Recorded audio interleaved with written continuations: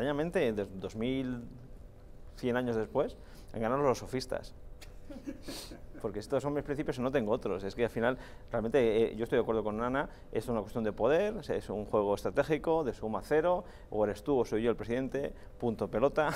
y ya está. Solo puede haber una variable que creo que puede cambiar este, este sistema,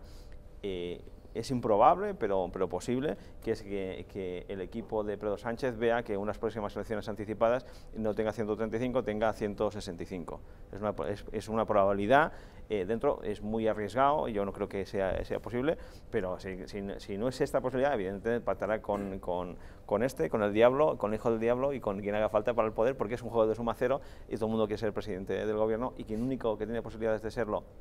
de forma clara es Pedro Sánchez y yo creo que lo conformará con los independentistas, con abstención, con voto a favor o como fuere necesario para ser el presidente, como se ha demostrado desde la moción de censura. Acordaos que la moción de censura dijo que iba a ser breve, ¿sabes? Y enseguida convocar elecciones y enseguida, digamos, se alarga un poquito más de lo, de lo esperado, con lo cual yo creo que conformará al gobierno, a no ser de que vean clarísimo que en las siguientes elecciones eh, generales sacase no 135, sino 165 o lo que fuere.